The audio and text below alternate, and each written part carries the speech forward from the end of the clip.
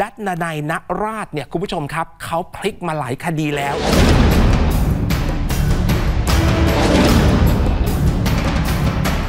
ใครที่มันไปปล่อยข่าวว่าให้ 5,000 เพื่อลบคลิปเนี่ยนะฮะ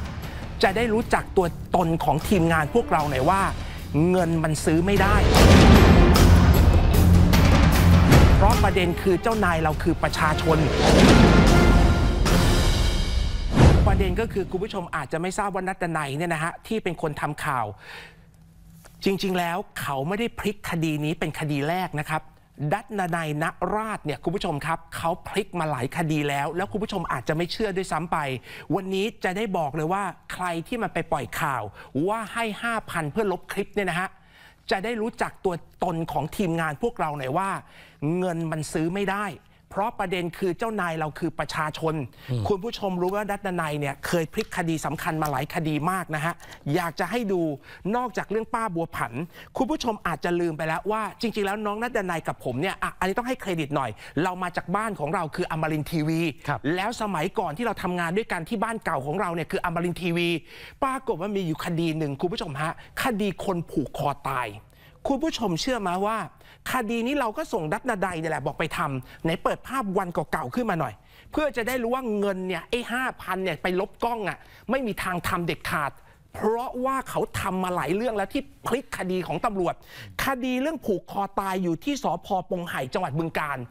ปรากฏว่าคุณผู้ชมรู้ว่าคดีนี้นะแต่นายไปพลิก จนกระทั่งไปเจอว่าความเป็นจริงนี่ไม่ใช่ฆ่าตัวตาย แต่เป็นคดีฆ่าจับแขวนคอนะฮะ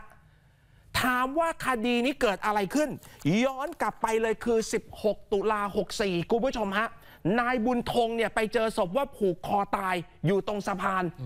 นัดดานายไปทำข่าวนี้ ปรากฏญาติก็บอกกับนัดดานายบอกว่าน้องช่วยพี่หน่อย พี่กำลังสงสัยว่าศพของบุญธงมันมีพิรุษหนึ่งมันมีผ้าอุดปากสองศพเนี่ยมันมีรอยช้ำที่สำคัญก็คือมันมีรอยเหมือนกับโดนแทง แต่ว่าเลือดไม่มีเลยน้อง คดีนี้ตำรวจปิดแล้วนะฮะ อันนี้ผมเล่าให้ฟังเลย ปิดไปเรียบร้อยแล้ว แล้วก็สรุปว่าจริงๆแล้วคือการผูกคอตาย ปรากฏนัตนายลงพื้นที่ไปคุณผู้ชมฮะ เราได้ข้อมูลข้อพิรุษ อันนี้ต้องชื่นชมว่าสุดท้ายอย่างที่บอกคุณผู้ชมไป อย่าว่าตำรวจทั้งหมดตำรวจดีๆ ก็มี โดยเราเองเนี่ยน้องนัตนาย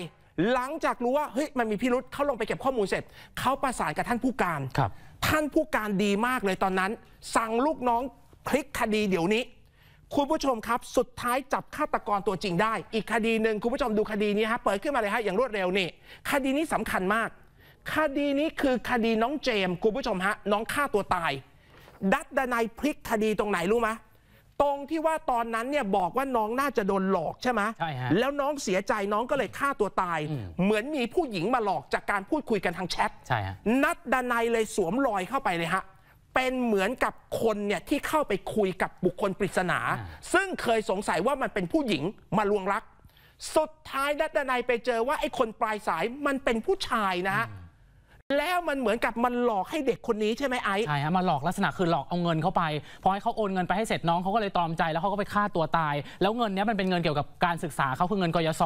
น้องก็เลยเสียใจมาก ปรากฏหลังจากนั้นพอรู้แล้วว่าคนที่มาหลอกเนี่ยไม่ใช่ผู้หญิงมาลวงรัก แต่เป็นผู้ชายมาหลอกว่าเป็นผู้หญิง แล้วมาลวงอีกทีหนึ่งนัดดนัยก็เลยมีการแจ้งให้กับผู้การของจังหวัด ผู้การประสานงานไปจับไอ้คนที่หลอกเนี่ยก็เป็นเด็กวัยรุ่นอายุ 17 อยู่ที่เชียงรายฮะเหตุการณ์นี้เกิดขึ้นที่นี่ตรัง สุดท้ายก็ไปจับฆาตกรตัวจริงได้ ถ้าเกิดจำกันได้คือเกาะพังงานนะฮะ เปิดวงจรปิดก่อนก็ได้ แล้วบังเอิญว่าคนตายเนี่ยเห็นบอกว่าเป็นใครลูกดารา เป็นลูกดารา ใช่ฮะ แล้วฆาตกรก็เป็นนายแบบเป็นคนเป็นในแพทย์เป็นเอาฆาตกรเป็นในแบบใช่ฮะ เออ แล้วก็คนก่อเหตุเป็นในแพทย์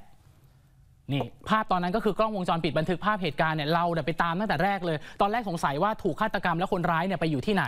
สุดท้ายแล้วเนี่ยเหตุการณ์ทั้งหมดที่เกิดขึ้นเนี่ยเบื้องต้นเองเนี่ยก็เลยไปเจอภาพกล้องวงจรปิดทั้งหมดว่าคนสุดท้ายที่อยู่กับคนตายก็คือนัดดนัยไปหามา จะเห็นว่าเขามีการนั่งซ้อนท้ายมอเตอร์ไซค์ชื่อว่าแดเนียลนี่คือคนก่อเหตุนะฮะซ้อนท้ายมอเตอร์ไซค์กันไปเข้าห้องพัก หลังจากนั้นคนตายหายไปเลยเขาก็ไปฆ่าหันศพใช่แล้วเจอแดเนียลพวกขนถุงออกไปอะแล้วถ้าคุณผู้ชมจำได้เป็นข่าวที่ช่อง 8นำเสนอทุกวันเลย เพื่อจะคลี่คลายคดีนี้มากที่สุดด้วย อันนี้ต้องบอกเลย